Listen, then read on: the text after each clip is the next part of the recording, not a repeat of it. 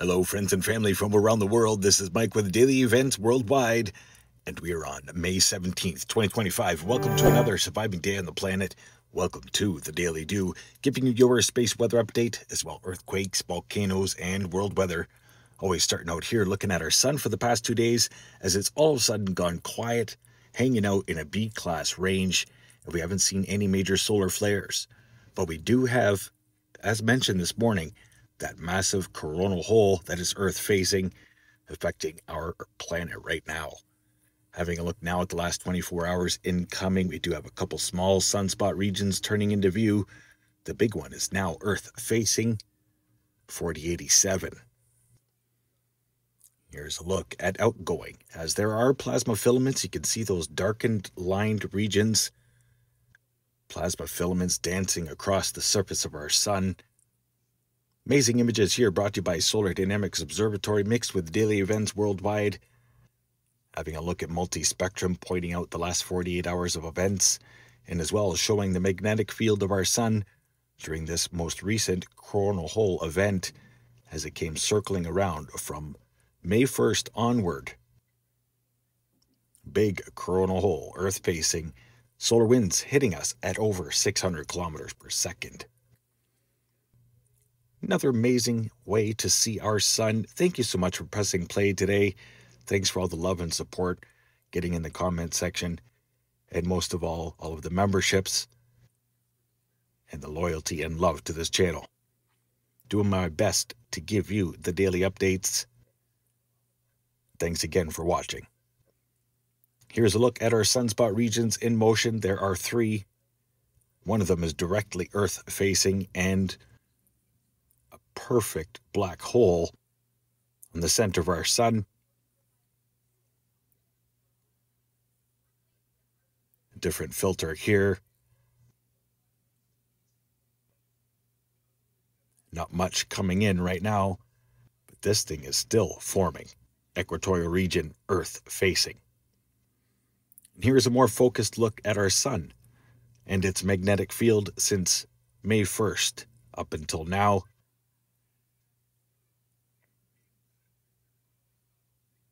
It's getting pretty flippy, folks. Heads up, stay aware and prepared. Current space weather conditions right now, we are under moderate level 2 geomagnetic storm impacts experienced. Solar winds right now coming in at 680 kilometers per second. Topped out at 758 just earlier throughout the day today.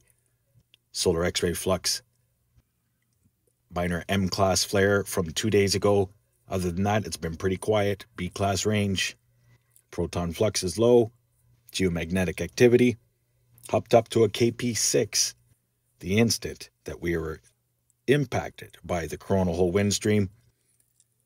Visualized here in the lower models, showing the velocity of the solar winds affecting our planet. No new CMEs to talk about, just coronal holes. Here is a look at our planet being bombarded by the solar winds.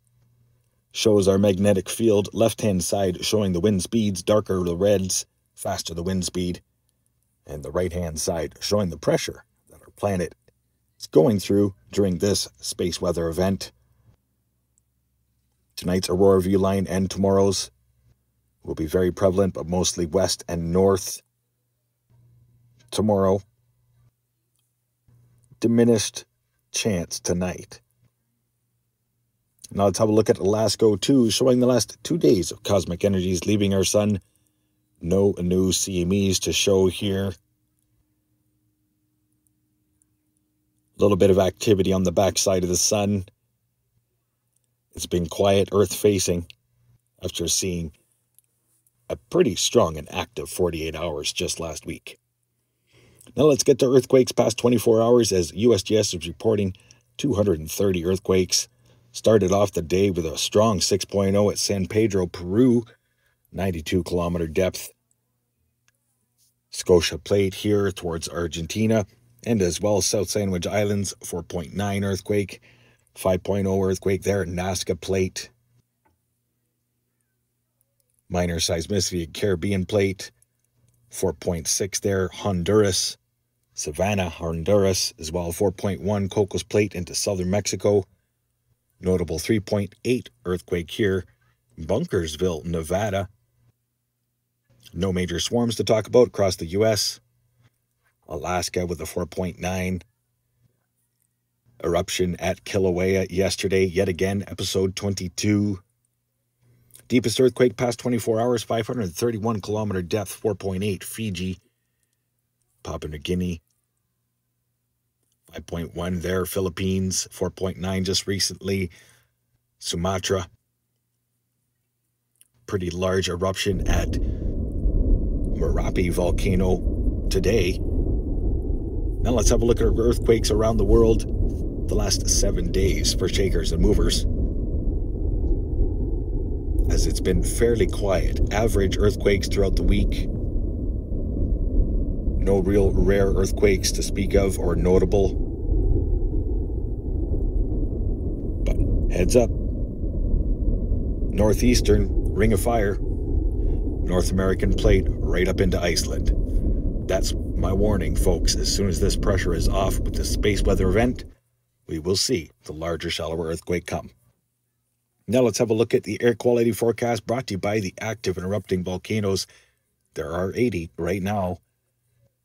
Notable eruption at Shiveluch volcano in Kamchatka, Alaska, Hawaii, Mexico, Merapi, Indonesia, If you haven't seen the latest volcano activity report, please check it out. I do name off and show you all of the volcanoes that are erupting around the world. And right now, we have a record amount 80 active and erupting volcanoes. Now let's get to world weather brought to you by windy.com. Strong low pressure system still stalled across North America. Watch for extreme weather event as another low from the Pacific gets trapped into the high pressure ridge and through central United States, days upon days of extreme weather. Thoughts and prayers going out to everybody affected by last night's extreme weather event. Over 30 people lost their lives through Kentucky. Looking all, at all these major systems in the long range, lots of moisture heading towards the United Kingdom and parts of northeastern Europe and some peculiar cool lows still grinding in from the Hudson Bay for North America could see a pretty cool long range forecast. Overlooking Africa, Southeast Asia, and Australia, watch for a strong system affecting southeastern parts and as well Tasmania. And then extreme weather in the long range, scooting across Queensland, cyclone for India, and possible typhoon for Japan in the long range. Overlooking the Pacific Ocean. Low pressure system west of Hawaii being torn apart by the strong high pressure ridge off the coast of the United States. Long range forecast possible Pacific cyclone forming off the coast of Mexico. And here's a look at satellite imagery as I caught this yesterday at about 2 p.m. Eastern Standard Time. Large eruption at the Shiveluch volcano, as you can see here, penetrating the layer of clouds that were above it. There was a massive low pressure system there. Very tall pyroclastic cloud penetrating through the atmosphere of the Shiveluch volcano. Much love, everybody. Hope you enjoyed the show. If you did, please don't forget to give a thumbs up. Stay safe and healthy. And prepared. Get your daily dew.